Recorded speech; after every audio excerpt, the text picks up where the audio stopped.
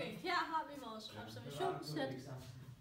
Det kunne fx være skostørrelser. Og øhm, vi skal så finde vores observationssæt størrelse, og det gør vi ud fra vores hyppigheder. Som I kan se her har vi plusset dem, øh, og det giver 17. Så vores observationsstørrelse er 17. Øh, for at finde typetallet kigger vi på en observation, der størst hyppighed. Og det kan vi så se er 21. Middelværdien, altså gennemsnittet, finder vi ved at plusse eller tage vores observation gange med vores første hyppighed. Tage vores anden observation gange med vores anden hyppighed, og det gør vi så ud fra, hvor mange observationer vi har. Og I kan se her, at man så vi dividerer det med vores observationsstørrelse for at finde gennemsnittet, som vi har gjort her, og det bliver 22,4. Øhm, her har vi så øhm, et grupperet og et ikke grupperet observationssæt. Og det ikke grupperede observationssæt, det er hvor at selve observationen ligesom kun er én, så det vil sige, at man kun ser 20, og så er der en, der har øhm, den observation. Ikke? Øhm, I et grupperet observationssæt, der er observationerne ligesom i intervaller, så det vil sige, her kan man så se, at observationen er 20 til 21 frem for blot at have en observation for 20 og en observation for 21 hver for sig.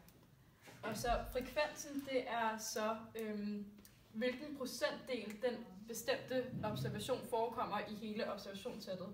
Og det finder man så ved at tage, ja, det er hyppigheden. Så hvis vi skal finde, hvor meget øhm, den her observation, altså 20, og der er en, der har den skudstørrelse for eksempel, så gør vi så ved at tage hyppigheden, dividere det med observationssættets størrelse, hvilket var 17, og så gange det med 100, og øhm, så får vi så et eller andet procentdel tal, som den så vil øhm, fylde ud af 100% i hele. Altså kumuleret frekvens, det er så der er en procentdel af øhm, observationssættet, det ja, den ene observation fylder eller derunder. Så der vil man for eksempel tage hyppigheder, der vil man tage flere hyppigheder og lægge dem sammen. Og så dividere dem med observationssættets størrelse, hvilket igen det var 17. Og så vil man så gange det med 100 først, for at få det i procent, og så får man så øhm, et, procent, ja, et procenttal, som så viser, at hvis vi for eksempel siger, at det vil være 50% for den her, den her observation, så kunne man sige, at 50% bruger skostørrelse 22 eller derunder i, ud af hele observationssættet. Her har vi så et pindediagram, øh, hvor vi har på y-aksen har vi hyppighederne, og på x-aksen der har vi observationerne, som hvis vi tager det ud fra den øh, observationssæt, vi havde før, så har vi 20, 21, 22, 23 og 24. Øh, så kan vi se her, at så tegner man det så ved at skrive alle observationerne fra 1 til toppen. Så man kan se her, vi har vores observationschef 20, eller, øh, som så havde hyppigheden 1. Derfor tegner vi den op til 1, og så hen er hen af, så vi kan se 24 har vi tegnet den op til 7. Um, øhm, et pindediagram bliver tegnet ved at lave en streg, og så ligesom lave et højt T, kan man sige. Og et øh, uh, stolpediagram, det bliver tegnet ved, at man bare laver det som en stolpe. Ja. Her har vi så et histogram, og øh, det mærkelige ved den der, er, at der ikke er nogen y-akse. På x-aksen der har vi observationerne, og øh, så har højden af den her boks samt øh, afstanden mellem de her to, den øh, giver så arealet, øh, som så øh, arealet af den her, det vil så være frekvensen til, ty- til observationen 20-21. Det er altså et trappediagram, øhm, og man bruger trappediagrammer i ikke grupperede statistikker. Og øh, hen af x-aksen, der har vi så observationerne, og på y-aksen har vi så den kumulerede frekvens. Og måden du, gør, du tegner sådan et trappediagram, det er, at du finder så den kumulerede frekvens for hver observation, og så sætter du så en prik, og så, ja, det gør du så for hver af observationerne, og til sidst kan du så tegne sådan en trappe her.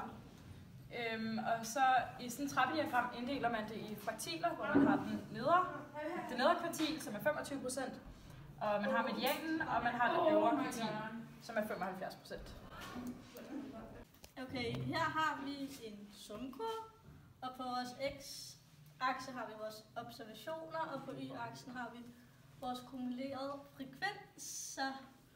Okay, måden man ligesom tegner det er ved at sætte øh, altså et punkt til hver vores observationer.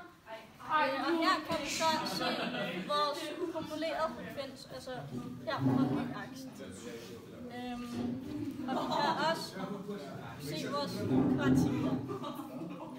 Det her er så et boxplot, og den første streg i boxplot viser så den øh, mindste værdien i hele observationssættet. Og den næste streg er så øh, det nedre kvartil, hvilket er 25 procent. Og den tredje streg viser så medianen, hvilket er 50 procent.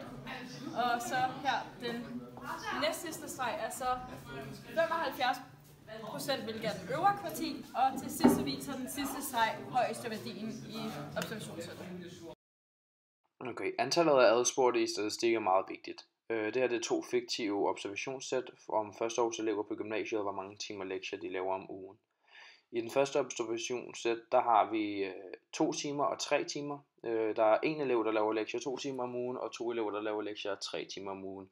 Øh, der er kun blevet spurgt to elever, hvilket vil sige, at gennemsnittet er meget lavt, øh, og du får ikke en særlig stor variation af de forskellige øh, antal timer, der bliver lavet. I øh, toeren, der kan jeg se, der er blevet spurgt en hel overgang, 191 elever. Øh, det gør, at hele, at det hele bliver meget større. Du kan se, der er både 4 timer, 5 timer, 6 timer, 7 timer, som manglede fra den første. Øh, derfor ender gennemsnittet så på 4,25 timer om ugen i stedet for. Her får du et meget bredere og større resultat, øh, på grund af, at du har spurgt mange flere.